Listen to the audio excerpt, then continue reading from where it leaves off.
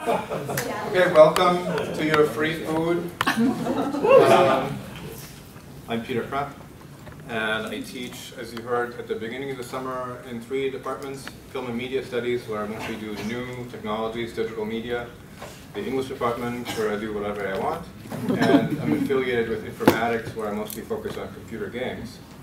Um, Paul told you everything about our project last week, so I'm just here to take questions.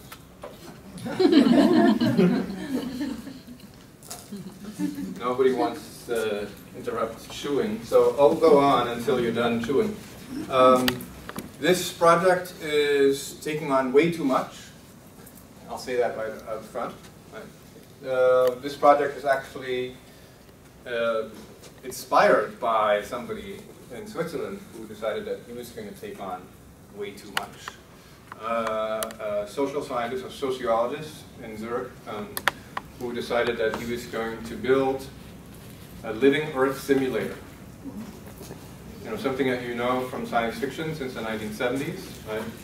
Uh, Douglas Adams, for instance, um, has uh, the whole Earth uh, be a simulation that's run by mice, and we are just part of the experiment. Uh, Dirk Helbing very seriously proposed that the European Union provide him with 1 billion euros in research funding, which to my knowledge is the largest ever grant written. And later this month we'll find out whether he's going to be funded for the Living Earth Simulator. Um, today I brought you way too much. Uh, I brought you lots of slides. Um, most of them are just pictures, some of them are wordy though um, and even a little clip. And I'm mostly going to be talking to you about various strands in the history of simulation that allow us to understand what the stakes are when somebody says, I'm going to revolutionize not just the hard sciences that have been using simulators for computers for a long time, but the soft sciences, the messy sciences, the social sciences.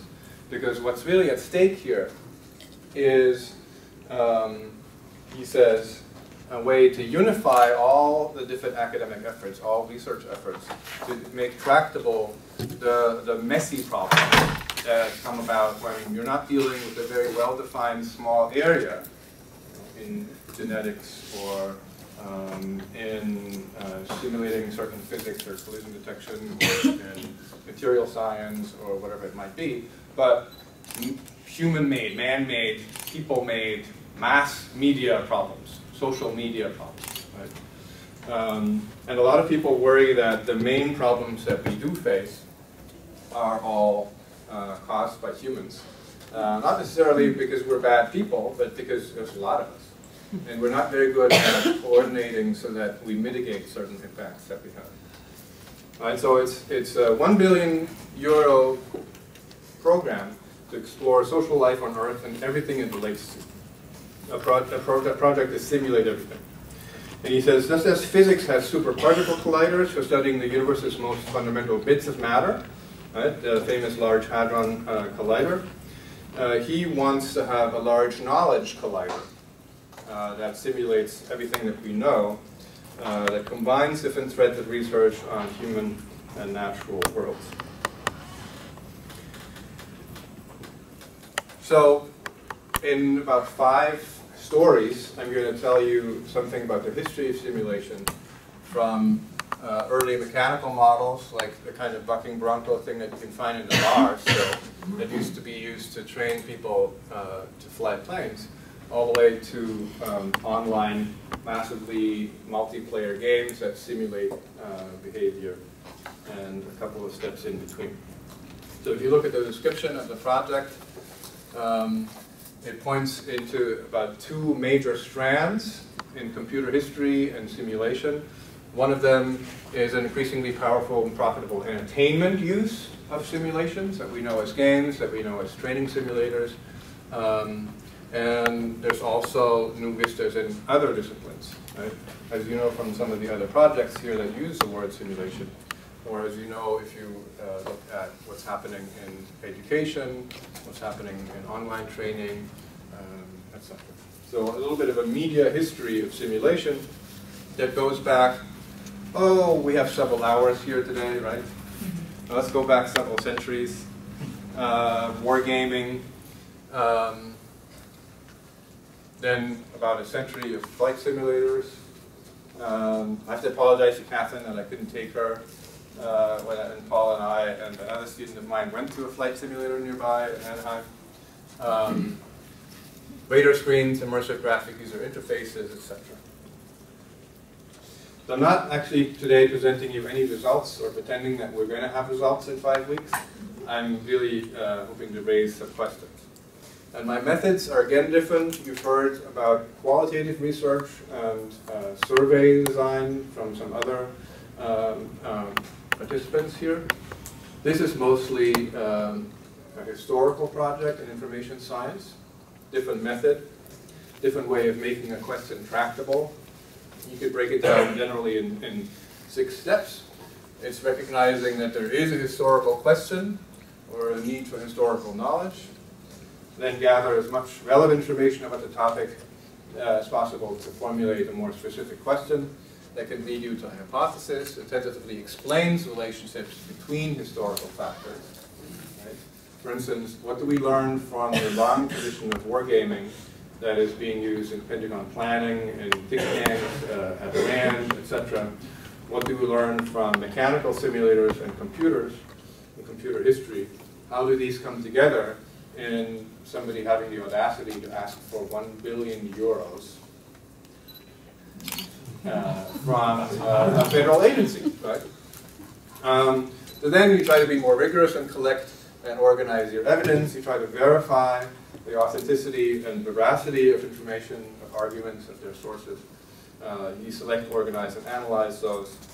And uh, eventually you try to draw conclusions and then report the conclusions in a meaningful narrative. So a meaningful narrative doesn't mean 1001 nights you tell a story so that you don't have to die. Uh, but a little bit, it's like that. You know, you, have a planetary problem. You have a planet-sized problem. And the solution to that, according to Dirk Helbing, is we're going to build a planet-sized simulation. So we can test, what if, what if, what if.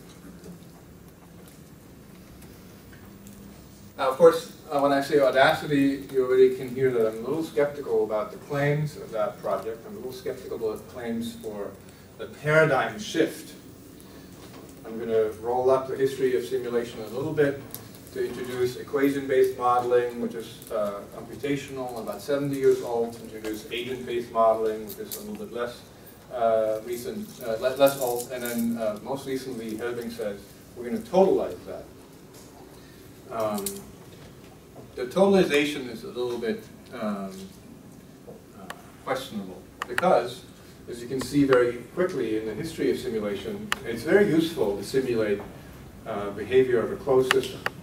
You know what the controls of an airplane are going to do, as, at least as long as you pretend that the airplane is going to be in this controllable uh, flight envelope, and you don't have to worry with a flight trainer about all sorts of other things like weather conditions or uh, what an enemy might do to interrupt uh, the flight envelope of your plane.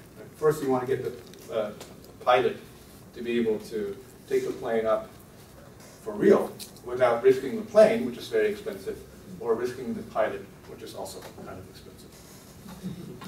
Uh, for much more complex open systems, where it's obvious that you need to introduce all of these other uh, interferences, right? I'm not saying that in economics you're dealing with enemies or with weather, but you know, in economics or business or social sciences in general, you will deal with a lot of uh, open questions. You, you don't necessarily predict accurately how other uh, factors are going to inter interact.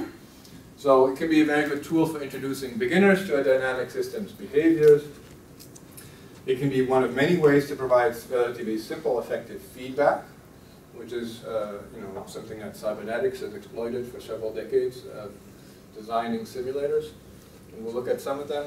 And it's also a good way to explore options or discuss the validity of underlying assumptions, which is why if you work in government or policy think tanks or business consulting, right, um, you're going to use models and simulators to design scenarios, you know, what if, what if, what if.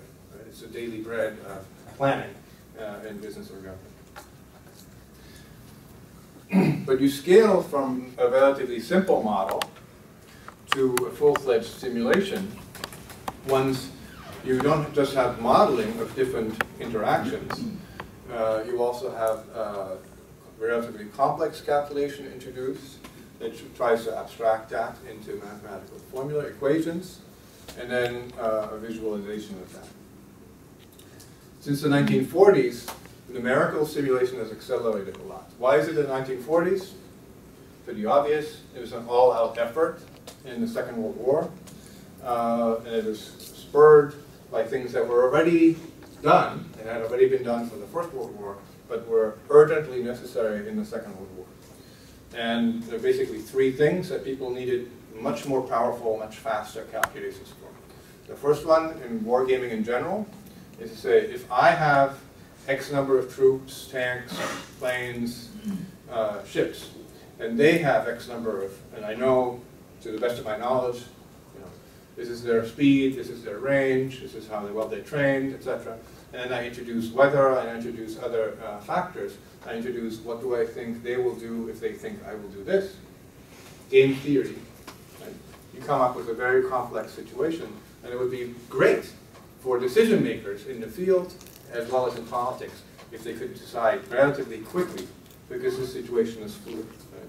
You can make a good decision if you can take six weeks and study the problem and get your spies or agents or newspapers to give you good information, but often you don't have a day.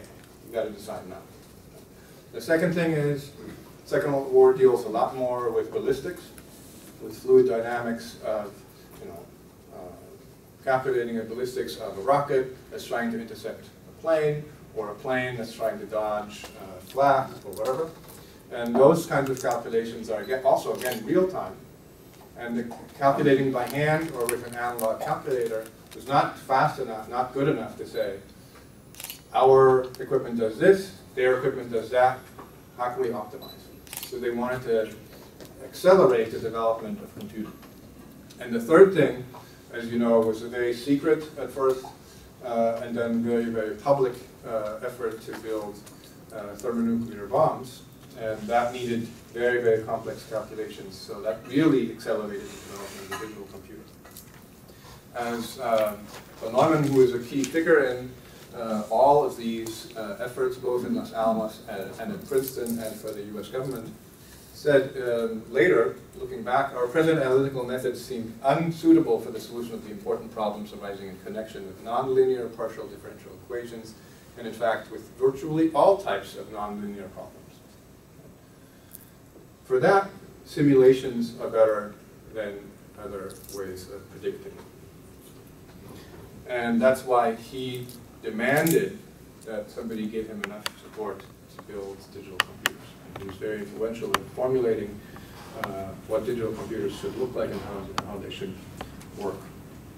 So first strand, let's look back a little bit. Of course, you know that chess and chaturanga and other games abstract the battlefield, abstract rules of behavior, train people in predicting, train people in um,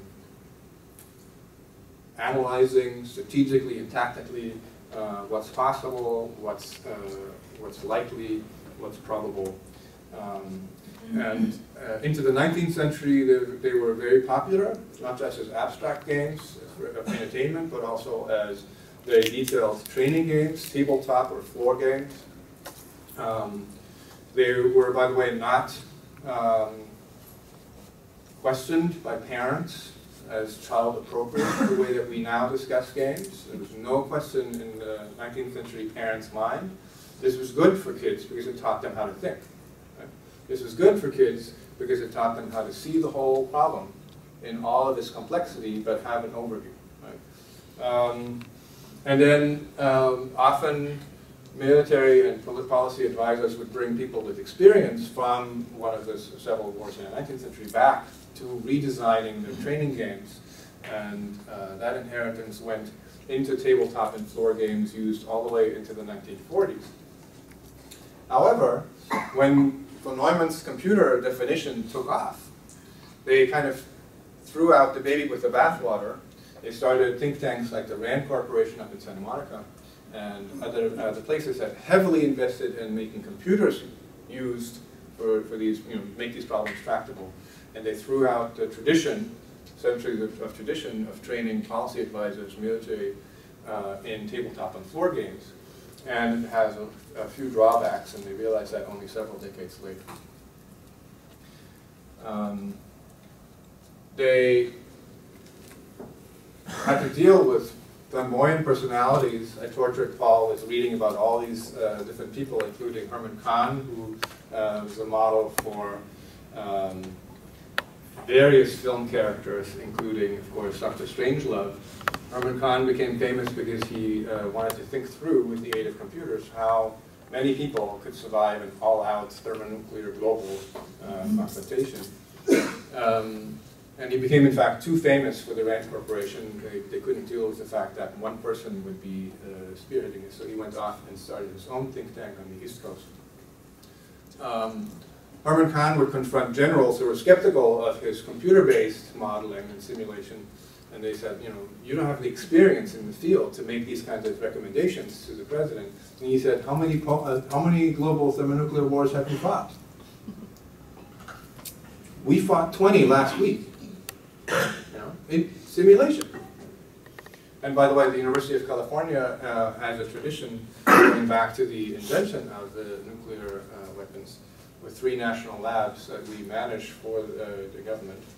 And uh, very clearly, a lot of the results that we now have in computer modeling, for instance, of weather, of global weather conditions, and of testing whether ideas about global warming are true or not, are accurate or not,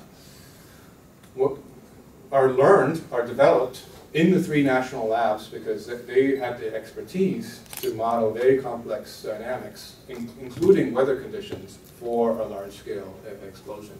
And then also got data from what a large-scale explosion of a nuclear device in Nevada or in the bikinis uh, would do to the environment. So it was reintroduced, um, this tradition of wargaming into the military, and then of course also commercialized. Here's a 19th century game. Um, here's uh, more pictures. Just recently, a colleague of mine who teaches uh, media studies, Alex Galloway, uh, teaches media studies at New York University, um, took one of those uh, board models and took it online and made it a, as he calls it, massively single-player online game.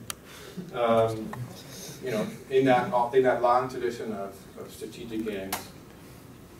Uh, here you see planners at RAND in the late 50s.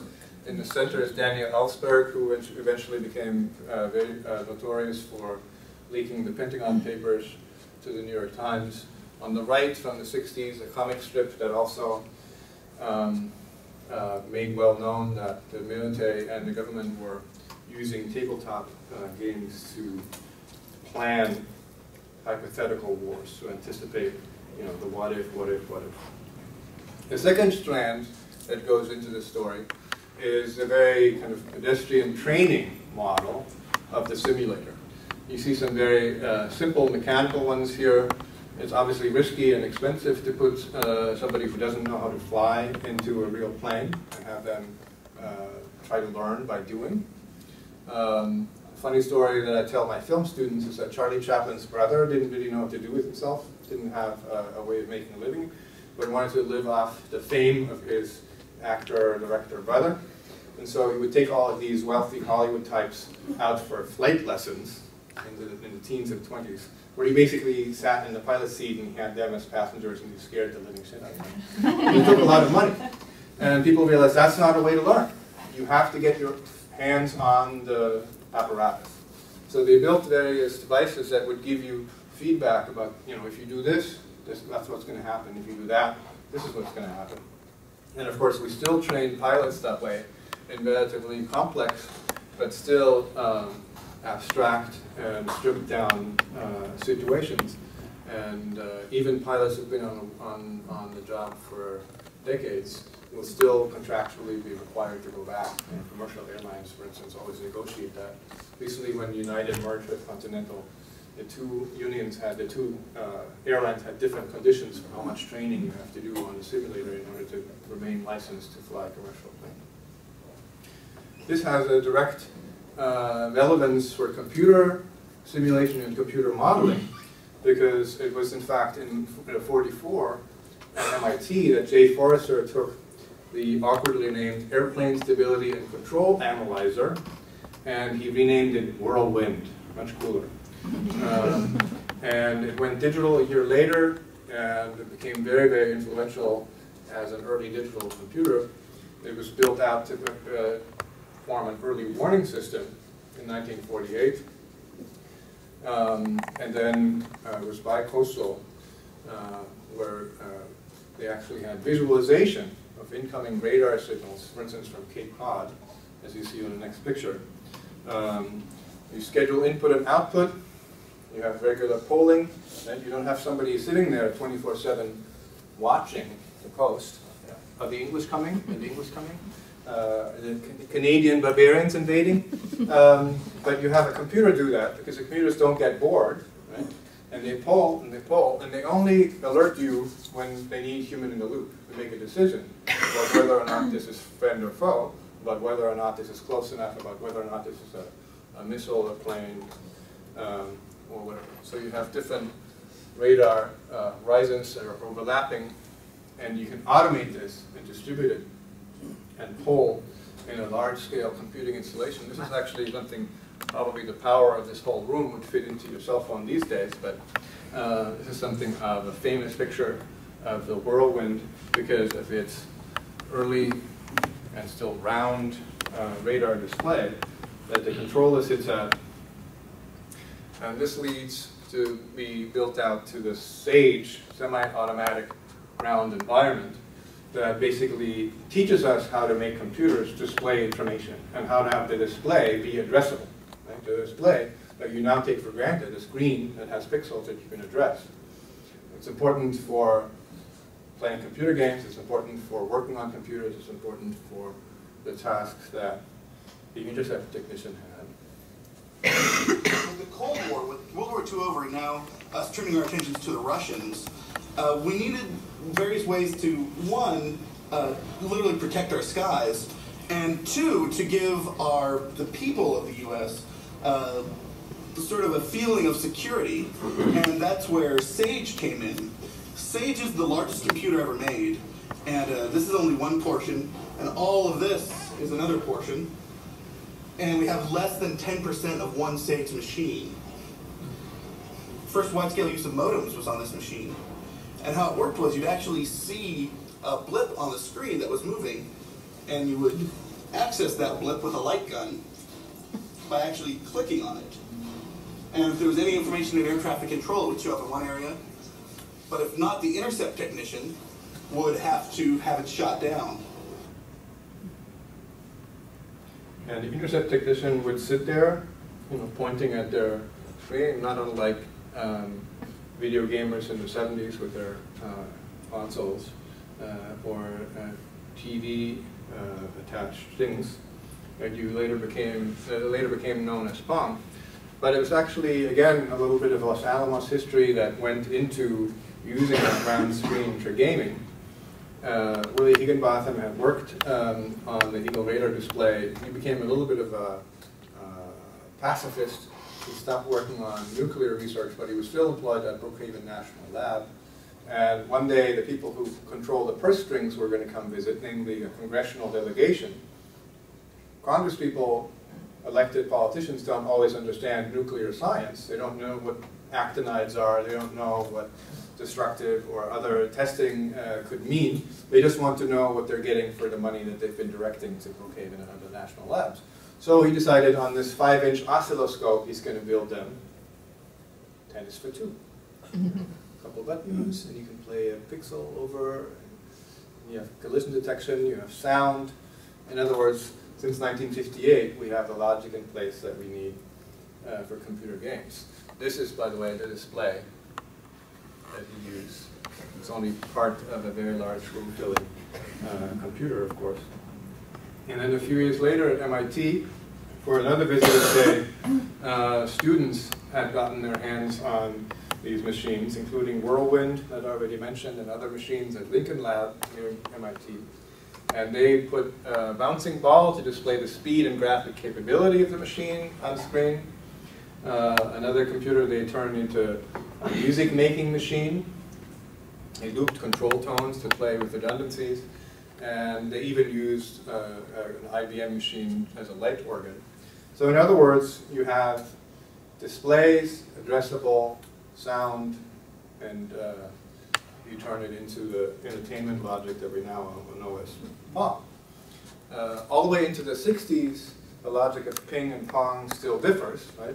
Ping learned from sonar and radar, just testing, are you there, are you there, can you hear me now, can you hear me now, can you respond? Uh, is there something? Um, defines computer game as a game of computer against computer, or machine against machine. Whereas a lot of hackers and students since the 60s and on have decided in favor for human-computer interaction, in favor of Pong. Uh, they built Space War and other games on that basis. So of course, in computer gaming, we have a lot of what we call simulators.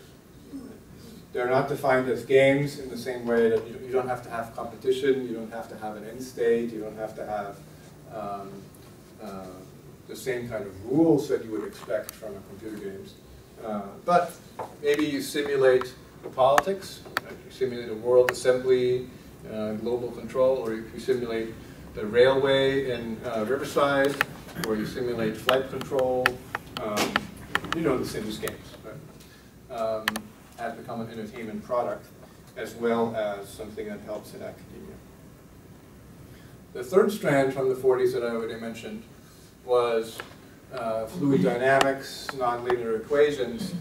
Um, people who worked in Los Alamos and at Princeton uh, and at the uh, uh Institute for Advanced Studies near Princeton discovered that once you use computers to solve these equations much faster than people were, before, before you had those machines, by the way, computers were people, and so the name for those people would, would still be computers. There, would, there was a lot of clerks trying to calculate you know, what is going to happen if uh, it took them days or weeks or months, and even with the early computers, it took days and weeks and months to, uh, solve, you know, what if we design the bomb this way? What if the weather is going to be that way?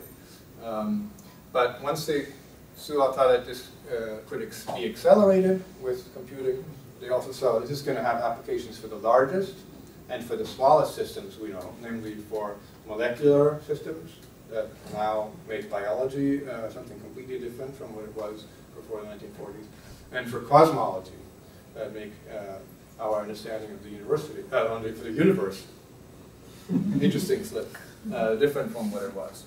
Um, and with that, you get a shift away from just an equation-based model to an agent-based agent-based model, where you ascribe certain interactions to different parts. A good example of that this is a recent book. It just came out earlier this year. Uh, I made Paul plow through it uh, with me. It tells a very interesting story of how in the 1960s, people trained in cybernetics and modeling systems, complex systems, were hired by the uh, government of Chile to automate the country. Um, to basically build a control room. It didn't have to have people in these chairs, by the way. Control room that would give all of the data um, uh, easy, easy visualization, right? Uh, graphs, control panels that um, can give you the information in such a time that you can recognize a crisis and then avert it, try to reduce the lag between those two, those two curves of real-time information and your reaction to them. So that, for instance, if there is an imbalance in the chemical sector, and Chile. Chile is a big uh, producer of caoutchouc. You get the subsector here of caoutchouc, you get explications of the um, global production, uh, how does it impact our uh, pneumatic uh, industry, battery industry, vinyl industry, nylon industry, and um, photo uh, nylon, etc. And put that into a feedback loop and have the system automatically regulate at the optimal level. If there's more demand, maybe you can supply it. If there's less uh, supply, maybe you have to anticipate that that's going to impact uh, things. And you can, you can kind of extrapolate. So uh, this actually was never put into place because Chile uh, had a military revolution and dictatorship uh, take over. Uh, but uh, over the year or so that cybernetic revolutionaries worked in Chile, they were very seriously engaged in turning an entire country's operation you know, at the top level of policy advising and making decisions, industrial and other decisions, um, into a fully simulated system. 1972, July. Um, and this uh, can lead us very directly into the fourth, second to last strand, second to last story, namely how all of those people who were then basically evicted from Chile, they went to the US, they went to uh, Europe, went, some of them went into academia, some of them went into business, and basically brought us what discipline that works with graphs and predictions? The consultant, right? You know, is there any industry that works without consultants? Business consultants, strategy consultants. Um, you know, they don't read your hand anymore, uh, or look at your tongue, or feel your pulse. Uh, they don't read the entrails of a poor cat or a bird or whatever. Um, they don't read the stars. Now what they do is they build a model and they have uh, predictions uh, within a certain envelope of anticipated reactions. What are our competitors going to do? What are our customers going to do? What are our students going to do? What are our politicians going to do? What are the politicians of other countries going to do, etc. And build presentations on the basis of that. So many uh, corporation now is run just on PowerPoint, basically, on scenarios. And scenario building was something uh, that the 60s uh, really, really built up. Um, I can't go into the details here, but there's a lot of really interesting stories, for instance, to be told about Buckminster Fuller, who was the first person, long before Helbing, wanted to have a planet-sized simulation. Buckminster Fuller wanted to build a world game, and he actually traveled around the globe as um, sort of roving consultant still people uh, offering a global simulation, OS Earth, at the URL worldgame.org. I was trying to bring them here to campus uh, for a few years now, but they want to charge me $10,000. And I figured, I like you guys, but not that much. World Game uh, for Fuller was still going to be a map, sort of tabletop floor game. Uh, he had a convection sort of um, you know, the projected, projected out uh, the various plots of the Earth, the various parts, the various things that are uh, fought over or debated. And he was going to have people actually stand on a real scale map. Like, uh, you'd use a stadium, you'd use a gym hall, you'd use a assembly hall, and have people act out in real time, play acting, uh, simulate uh, various things. And uh, Fate of the World, which is a new strategy game launched two years ago, uh, does much the same thing. It doesn't charge you $10,000 for it either. Uh, of course, there are still various arms of the government that do that. In fact, they do it for various purposes. Um, the Technical Support Working Group uh, supports various uh, branches of the U.S. Uh, military and other parts of government for risk uh, consulting on chemical, biological, radiological, and nuclear countermeasures. Um, there are training programs. There's the MOVES Institute, Modeling Virtual Environments and Simulation academic program at the Naval Postgraduate School uh, that educates warfighters. Um, Air Force, um, Navy, um, combined forces, they all have simulation centers. They all use uh, that computer-supported discipline uh, to train people, to inform people, to play war games, strategy, simulations, futurism, anticipating.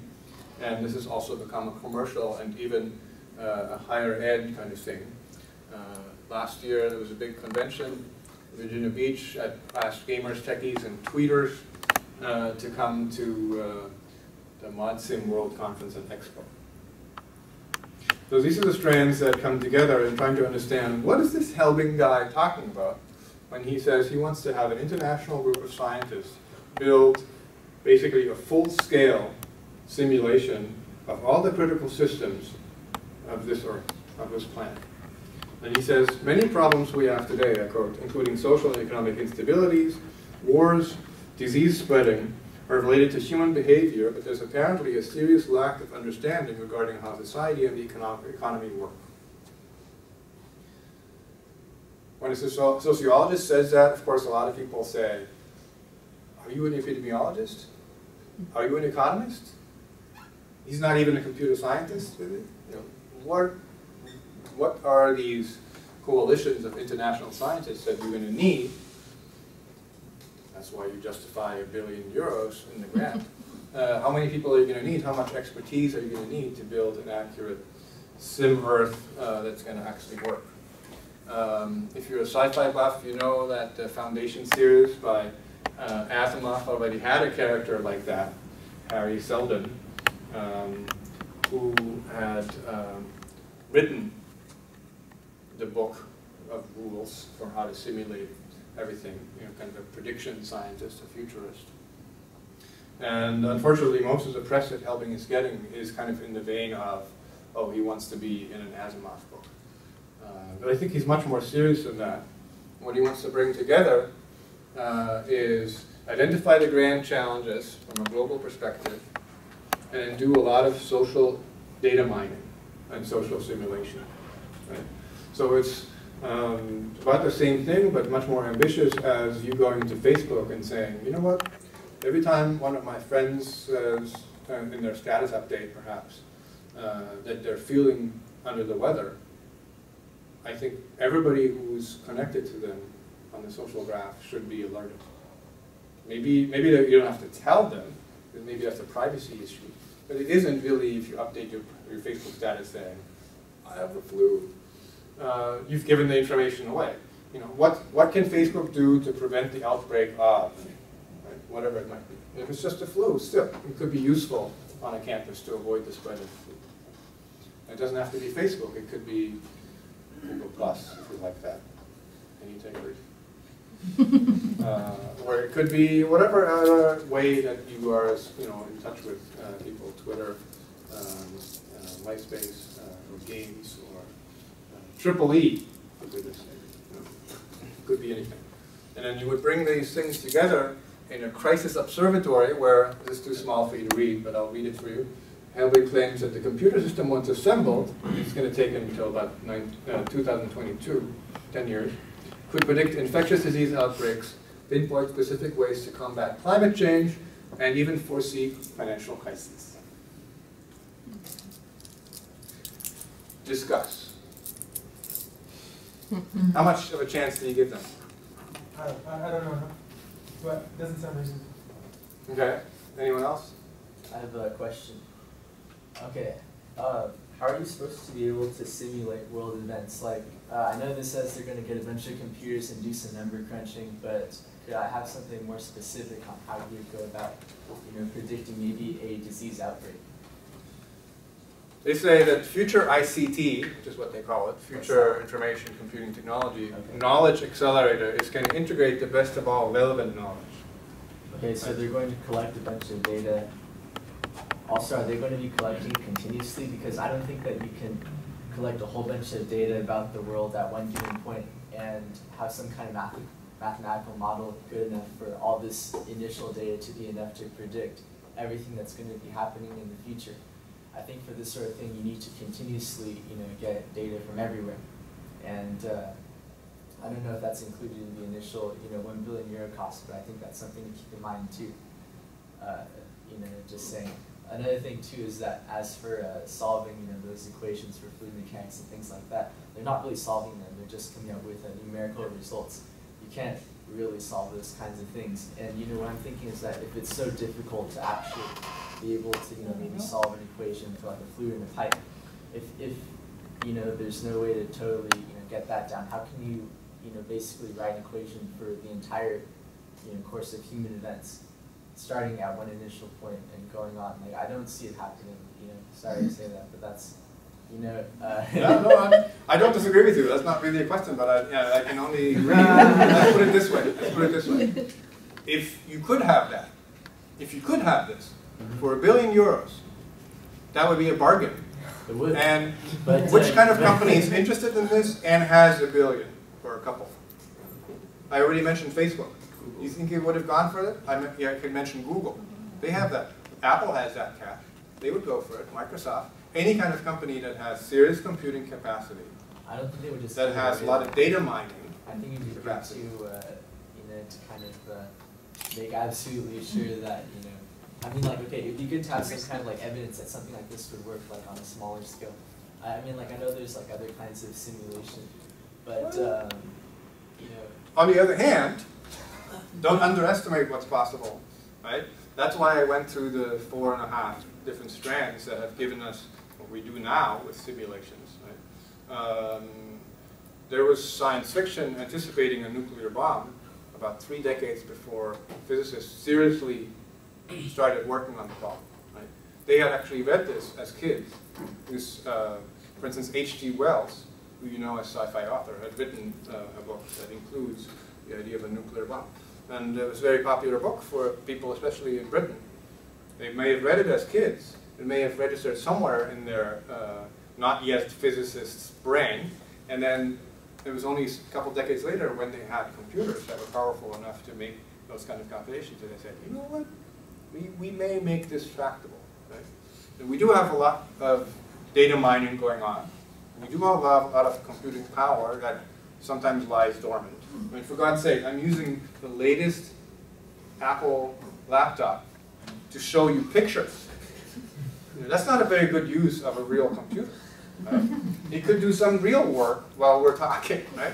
So, you know, that's what, that's what the SETI at Home project and other projects have tried to tap into. We have a lot of computers, they run more or less at full power. They use a lot of electricity, they have a lot of processing cycles. We could put them to some kind of collective use. Right? That's the ambition that this project has. In the same way in which in the 40s people put to serious applied math and, and, and theoretical physics use, you know, what are we going to do with uh, fission or, or uh, whatever. So, you know, there are breakthroughs that we kind of relegate and say, ah, that sounds like sci-fi, that sounds like Asimov. I think that In the way, in the same way in which in the 40s people said, oh, that sounds like H.G. Wells. Yeah, but it, they made it happen anyway.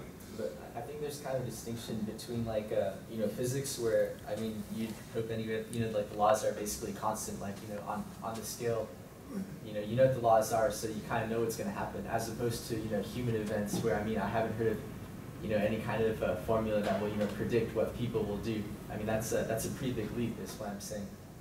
That's, uh, that's a huge point, right? Even if you could leave people out for a moment, right? Take just one of these problems, namely the global warming kind of thing. You know, even to make a, a plausible model at that scale, you have to realize that even in the 50s, people already knew you can use computers to model fluid dynamics, even at the planetary scale. It's going to be okay for the next few hours it's going to be really crummy for the next few weeks. And then it's going to be kind of okay again for decades, right? Uh, Which is why cosmology, for instance, works. Right? You can predict certain large-scale things in a long horizon. You can also predict them in a very short horizon. Just like you know what's most likely to happen in this room in the next 10 minutes or next hour. And they here with more experience in this room may have the extrapolation to say, oh, it's most probable that I know what's going to happen in this room for the next week. Because they're involved in making things happen in this room. But none of us can say the next five years. Some of us might say, oh, I'm pretty confident I know what's going to be here in 100 years, namely not this building. right? You, you know what I'm saying? So what, he, what what he's trying to make tractable is use all that computing power, use all the data mining, cast aside the worries about how unpredictable humans are, and say, in the large data, in the mass, people are not that unpredictable. Because it becomes that kind of large scale, like, you know, maybe you're unpredictable, I'm certainly more unpredictable, I'd like to think, right? We all would like to think that we're more unpredictable than all our marketing data betray. But collectively, your credit card uh, company knows what a person like you is likely to do. My credit card company certainly knows, right? so does Google, So does everybody who advertises to you in your browser, right? and sometimes it's wildly inaccurate. My wife always uh, is very amused when she gets ads that are targeted very clearly to a 20-something male. Um, it's just because she loves sports, right? So she's always Googling sports results, you know. It's very crude right now, but data mining is happening. Computing is powerful. Make it tractable for these large-scale problems. You know, it's not totally implausible, even though you're totally right with your objections, and I'm with you on the objections. Here's another objection. Apparently, the only thing that's relevant in education is online education. so I'm going to get rid of this slide. Um, what they want to bring together, though, is demographic data, transport data, you know, mass transit, uh, geographic data, etc., large-scale data, then model things, then go beyond the agent-based, where you say, oh, I can kind of predict what a person who is 20-something or 30-something grew up in the west of the U.S., grew up in the east coast of the U.S., grew up in the south of the U.S., is going to like, buy, do, etc. Right? Marketing companies are in the business of doing that. Right? They have the slides to prove it. Uh, scale that and make it a forecast that goes much beyond the kind of slicing and dicing. The slicing and dicing is being done because that's where you can sell the data bit by bit to Walmart or to uh, Starbucks or whatever, right? Whoever's going to make a decision whether or not they should have an additional Starbucks on your block, or whether the two Starbucks at the end of your block are going to be good enough. And um, make it not about those localized decisions, but try to make it about global decisions. There are no systems that we have in place that are very good at global decision making. And that's why the simulation history is being invoked, because wargaming was about that, right? Before it was black box. When you can see the whole thing on the floor or on the table, you see how the whole system works. Maybe you omit some things in order to make it fit into your chessboard or on your table. Right? It's an abstraction, but you can, you can see the whole thing. These days when you play on a computer, then you have all the rules kind of uh, stashed away. It has some downsides, right? So war games give you the strategic vision. They're driven by as much data as you have. They're about command and control, being the one who can make the decision. I'm going to do this. I'm going to have this happen. But they tended to be really slow and abstract. Flight simulators, mostly about safe training, very good at exploiting feedback. Right? Um, they're, of course, about optimizing survivability of using planes or whatever, but it omits variables. Right? It, it necessarily omits uh, the presence of weather or of other planes, etc. Once you get computerized from here on, with equation-based, agent-based, or what Helbing wants, you can have much more complex calculation with heavy computation in real time, or almost real time, which gives you the idea that maybe this is not just about everything now, now, now, now casting, but it's forecasting. You know, I can predict, this plane is not going to deviate completely from the probability. It's going to do this, therefore, if I shoot there, I'm going to take it down. You can anticipate. But it black boxes certain parameters because it necessarily has to automate a lot of things. Remember the polling of the radar installation, the, the SAGE, right, the defense uh, mechanism, etc. Once you distribute that and you say, you know, the student says, we don't really know how people behave, let's try to build a little box that behaves as closely to what we observe in our students as possible. Little bot, right, little agent, software agent. Now, what do we do if, how many people in this room? What if 25 of these bots interact? Right? Little agent-based model. Right? Uh, many of you may know that from biology or from epidemiology or from other kinds of models. It's very good at predicting certain types of individual behavior, but it doesn't scale. Politics and political science have been using this for a long time. Game theory, software. Um, how, how, how, how accurate has that been for them in predicting elections? They, they didn't even see that the Cybersyn uh, project in Chile wasn't going to survive a year. So the Large Knowledge Collider wants to build a global model, use heavy data mining, in real time, as a lot of computer-based enterprises already do, apply it to large-scale, very messy situations. Of course, the downside or the offset is that when you totalize that way, and you want to attract, uh, you want to uh, attack a global problem, you kind of lose the definition. You want to do everything at the same time. Right? Economics, wars, illnesses, all of it. If you don't do that, then you don't really have a full model of the whole planet in its complexity. So science has for a long time, especially hard science, have been about breaking the problem down into smaller and smaller boxes, making the boxes tractable, and then building back up and saying, okay, now, from a molecular level or from a you know, minute by minute level or from an atomic uh, level, sub uh, molecular level, we can build up our knowledge. And he wants to invert it and say, yeah, that gets us tractable in hard science, but here's some soft science problems, like genocide or like infectious diseases. How do we make the large, large scale uh, something that we can simulate, something that we can calculate, where we can say, computer, what if? What if, what if, what if, what if? Right? Um, example that I often use in class is, you know, if it was not allowed to eat in class here, and usually when I give a talk, it's not allowed to eat. Um, people can smuggle in their sandwich. let's say a sandwich on campus costs, what, five bucks? Round down, round up. And they could have a bet. And she says, if I get to eat the sandwich and not be called on, you pay. But if I'm called on, I pay. Simple bet, right? People make that kind of bet in my classes all the time, I'm telling you. because they know I like it.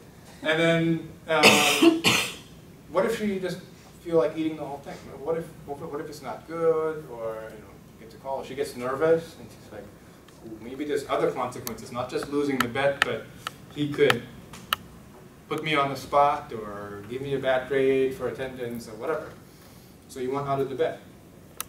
Classes are 80 minutes, but I'm not going to make it easy on you. You're not 40 minutes in. Maybe you're only 30 minutes in. Or maybe it's not half the sandwich. How does he evaluate the value of the bet now? What's his stake now? You know, you can't just say, oh, it's 250. Because neither half a sandwich nor half the class. Right? So already you don't know how to calculate it, not even back on, uh, back on the envelope. A computer very easily could say, ah, here's your risk factor, you know, you have this much time left, is your risk going up or not? She suddenly now considers more risk factors, so maybe for her, the opportunity cost has gone up. For you, you're, you're going to have to calculate how much is it worth to her, how much is it worth to me, so they come out well. Right? Because you didn't come to class intending to pay for her sandwich in the first place. That's why you made a bet instead of giving her the money. Computers are very good at taking this what if, what if, what if chain, calculate it very quickly for you and giving you the answer. And that's what this simulation at the large, large scale is about. What if we could find a way that most people in China and India don't buy a car and a refrigerator, thereby contributing to what we think is a greenhouse effect, what that would uh, make things worse for global warming. What if there was a way, right? How do you scale it? How many people would have to participate in the alternative to what if we could make computers more green so that they wouldn't cost as much energy, which causes, et cetera, et cetera? How do you model it? It's a very complex interaction. You know, and as you pointed out very forcefully, you can't predict human behavior that accurately. They've rolled out in some communities in Southern California uh, various meters that try to help people with uh, electricity and power, uh, power use. They've rolled out some strips here on campus that power down if there's no motion in the room. Of course, they put the motion detectors in my office so that if I don't wave, it turns everything off. Because, you know, usually I don't wave when I'm sitting on my computer. So, no, there are problems. How do you predict how much people will move, etc. You got to model that. You got to scale it up, and then the large knowledge collider intends to integrate all of these different uh, strands and give you a total simulation. That's where we are right now, so generating more questions than answers. Generating a lot of skepticism, I'm sure. Mm-hmm. Are there other questions that you wanted to put into the hamper? Paul is going to solve them for you in the next few weeks. Where are you gonna go with this research, Peter? What? Mm-hmm. When I'm done, I will try. I don't Where am I gonna This go? particular project, what, what? Well, as I said you in the looking beginning, for? partly this comes out of and goes back into my classes on computer history, on computer games, Mhm. and um, part of it is going to go into the direction that I haven't explicitly mentioned, but uh, is implicit here, and it has to do with um, our attitudes towards weather and climate, uh, where there's a lot of media representations. But, uh, if I asked you what the weather is like right now, you, you'd look, right? You, you kind of know because you came in, but it's not ambient temperature, you know. People have apps on their phone that tells them, oh, you know, I, I have friends in New York and, and there's a heat wave on the East Coast and I know what the temperature is. It doesn't really make you feel what it's like, nor does it tell you accurately what it's going to be like next week. If you're planning to go up to the Bay Area next week, you know, certainly not that predictable. It's more predictable down here for some pleasant reason than it is in the Bay Area. Um, there's a lot of visualization, a lot of use of media. I'm um, very interested in the data, but I'm more interested in the way in which uh, media images, whether it's the weather report or the graph, uh, the curve, you know, makes these kind of things plausible, tractable, and sometimes they're wrong for certain reasons that are more interesting to me than how people get it right. Which is why I'm not necessarily withholding at all, even if you were to give me, which he wouldn't, uh, part of his billion euros. Uh, I'd be much more interested in seeing, you know, how do you use images to persuade people to give you a billion euros? So, three uses that I see for, you know, two are directly related to what I'm teaching, you know, computer history in general, and then computer games in particular. And the third one is more about how do we understand these large-scale situations and make them something that people can see on a screen, even the, even the phone screen. Does that make sense? Yes, yes. I don't think we're going to answer any final questions about simulation, but I think um, faced with these kinds of projects, and I've run into other projects where people are, Facebook, for instance, offers you access to some data without uh, identifying uh, information for those kinds of large data kinds of problems. Um, a lot of people in epidemiology working for the UC have asked for the, that, that kind of access. And uh, I'm not an epidemiologist, but I'm interested in you know, what does that mean for our use of media? What is that? How accurate is it? Uh, do people really volunteer the kind of sneeze information that you think they have on Facebook? Uh, I've never updated my status saying I have a flu. Uh, but maybe Facebook is relatively good at knowing, you know, it's been not updating the status, so maybe, you know, we want to look at some other data, etc. You know that um, browsers give data about where you click and how often you click, etc. So you're much more tractable as a data generator uh, than you sometimes realize. And the- all of this data have potentially some use. Other questions? Um, when you talk about data making for social issues, um, how do you, how do you like determine the, the accuracy and the such a nature and of the data? Like how do you qualify the data? How do I? I mean, like for the project, is there like a, a, a s- uh, a standard that, No.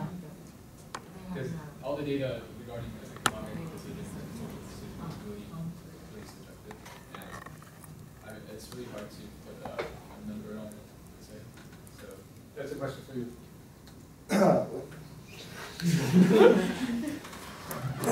To be fair, right? You develop on that. So basically you're asking like how do people take economic predictions like that and give it like a number and say like how close was it to get in the actual, like how close is the prediction to the actual result? Is that, that's the question basically? Um, that's, that's kind of the thing where the people who make the predictions are kind of making, it- asking that question too.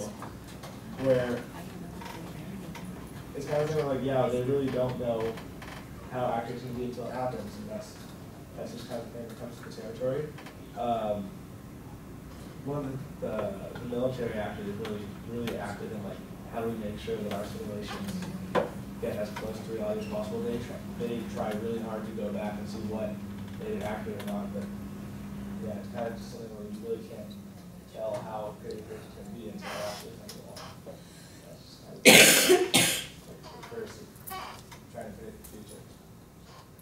So using, using the, the inaccurate data, we're gonna get the like, accurate result out of this, so what's the point of, uh, Well, there are two approaches. Paul's interested in business as one of his majors, and so I've given him a number of uh, things to read about how people use uh, this simulation and scenario building in business. Uh, famous uh, Shell strategist, Shell for the big oil company, uh, didn't take it your way and said, where do we get the data so that we can understand what's happening? Uh, but put it the other way around. And for a long time, people got away with this until now that, that method is being questioned. And they said, and just said, we're going to build a model that says, you know, this is what we think is a way of catching the data that we want, right? Filter. It was not a totalizing model, but the scenario building that Herman Kahn did, um, that Shell does, that other corporations do, that know, McKinsey and other consultants do, is very selective. Very filtered. And it's like the expertise of knowing, you know, is it relevant that people sneeze, or is it just relevant for my project that uh, they say uh, had to go to the ER, et cetera, right? You filter some health data, you filter some business data, you filter some economic data, and you don't take it all. You don't take all the clicks on the screen. You just look for certain events. And Shell was extremely successful, not just running its business on that, but training its future executives with that by Peter Schwartz from when they first hired to when they became top executives. They became kind of business legend uh, in that way. Simply by saying, I have a black box. It was more or less proprietary. He's since written a couple of books about so we can read after the fact, which is why this is mostly now a historical problem, at least for the first half of the summer. And then we can try to extrapolate. It's risky whenever you make kind of predictions to say, oh, is this going to uh, look next year? I let young people like you guys do that. I'm too old. I'm stuck in the past. But um, businesses need to extrapolate. They always plan, right? But they can just plan. That's why I say, this is my model. This is my business model. It's called the model. Right? And I simulate the behavior of competitors and, and uh, clients or customers as best I can. And if I see that my competitors are going to take the customers or my customers are going to do this, maybe I'll have to change the model. So that was that used to be the. I mean, it's not an question. It's basically it used to be the, the attitude. My box is going to do something, and it filters data for me. And I don't have to be the total business. I don't have to be a planetary business. I just have to be a successful business. Until people scaled that to a corporate model, we're now increasingly uh, with a winner-take-all model in, in particularly computer-driven uh, industries, you have fewer and larger players. Right? And, you know, in social media, still the landscape is very fluid. You know, Facebook may be big here, even though it's mostly big in making negative uh, headlines, uh, but it's not dominant in China. Uh, Twitter may be big here, but it's not dominant in Europe, etc. So there's, there's other players. And in order to do what Helbing does, is you have to work with all of these. They don't even talk to each other very well, but they'd have to all have to talk and play nicely with their Helbing. Um, or at least, you know, 10,000 scientists from different universities would have to do that. And then your question is very good. Why take it off? Why, why not have some kind of filter? Um, particularly for the type of research that I do, it's very natural to say, I'm going to have a filter. Maybe you call it a bias, but I have a filter. I'm, I'm interested in certain things and not everything. And I'm going to only catch certain data and not all of the other data. Um, for Helbing, the totalizing thing is part of the ambition to say, we have planetary systems, planetary problems that are not tractable unless we look at everything together. It's like a holistic approach. And in that case, you're dealing with, uh, I don't know how many terabyte of data per hour. And maybe he can harness a, a computing uh, power. But it's not clear to me, you know, how you get to, and this is our problem as well for this project, how do you distill that data and turn it into a meaningful question that a human can understand? You know, maybe the questions can be understood by computers already, uh, but on a human level, you know, in the, in the same way in which the interface technician in Sage needs to understand what the system is telling, needs to make the decision, friend or foe, do I shut it down or not? So it, it needs to rise to the level of meaningful decision making for a human, who can then say, I'd like to have a lever that I can pull so that the whole planet would do this. That's what Paul's going to do. But only if he finds the answer to your question, which is how do you filter the data and avoid anything meaningful. But that's the essential question about big data. We're generating a huge amount more than we have systems that make them tractable and comprehensible. We can visualize them, uh, but we don't necessarily know how to control that. Right? You can see energy use in Southern California. Um, and then all of a sudden you see that it leads to a brownout or whatever. You can see water use in Southern California, but you don't know what do I have to do to control water use in Southern California. There are many little behavioral levers. There's not one model where you can say, oh. Whereas if you play sim something or um, tycoon, right? Southern California tycoon, then you can say, I hereby decree that people will not use their showers after 9 a.m. Maybe that'll do something. If you could simulate that and get a good result, then maybe you can convince a politician to propose that, et cetera, et. Complicated, but it's a really good question. I think that you need data filters. A lot of other people who work with big data say, no, we want them to be as unfiltered as possible, as long as possible, so that you don't introduce your own bias into your own. Because you're not, you know, Helbing's a sociologist, he's not an economist, he's not a uh, epidemiologist, etc. so he shouldn't introduce his questions to early. They should be left to run so that the planet uh, system can show what the water I still think that Asimov is more interesting about this than Helbing, but we'll see. I'm not telling you that the result of the project will be just when you read science fiction, but I did make him watch some sci-fi from the seventies already. World on a Wire is out on Blu-ray with English subtitles, and it was made by uh, a very good German director in the seventies, and it is based on the idea that the main character finds themselves in a simulation and finds out that they're actually part of the simulation. It's long, but it's, I think, worth watching. At least Paul said that I undersold it after he watched it. Was the Truman Show a remake of that? You got it? Was the Truman Show a remake of that movie? Uh,